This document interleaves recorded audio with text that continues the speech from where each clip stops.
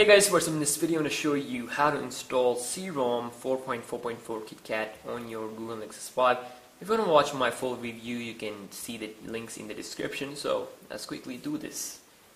So first of all make sure you have a working um, recovery um, CWM or TWRP and if you don't know how to install that recovery you can also uh, check the link in the description. I will put the link in the description um, that's a full tutorial of how to install latest version of the recoveries to your Nexus 5. So,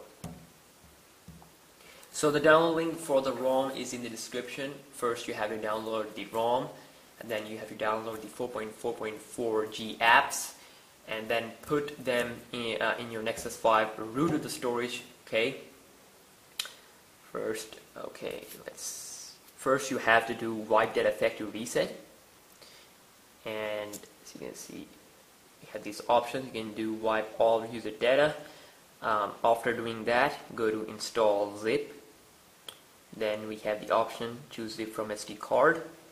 Then go to this zero storage. Then we have all our um, storage um, files of full internal memory. As you can see I have C-ROM KitKat version 7.1 now hit the power button over here and we uh, hit this power button here yes install. And after the installation all you need to do is you need to go back and then install uh, the G apps. These are the G apps Modular Micro 4.4.4 and these G apps are pretty good to use. You can use any G apps but be sure that they are compatible with 4.4.4 same as uh, hit the power button on the G apps. Okay and then click install. Here hit the power button.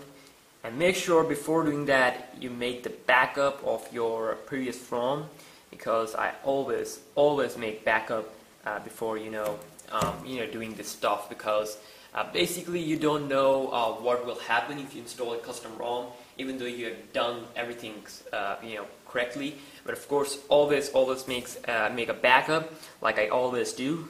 Um, and also uh, that's a pretty good thing you know to make a backup. On CWM you have these options here backup and restore. You can hit the power button right now to backup to SD card and if you want to restore from SD card you can hit the you know power button and you have the uh, your um, backup. And if you want to restore click the power button again click yes restore and your device will restore. So how uh, so this is how you restore but of course uh, to download the ROM you can uh, visit the link in the description so be sure to like this video and please click the subscribe button down below and I'll make more videos for you guys, more ROM reviews. If you want to see some specific ROM review, you can comment down below and I will install it on Nexus 5. So I'll see you next one. Peace.